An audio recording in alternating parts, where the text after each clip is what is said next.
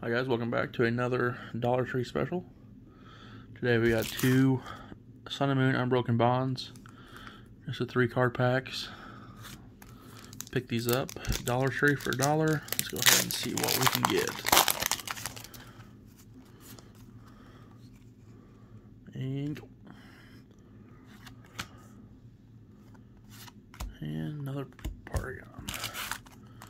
Last pack.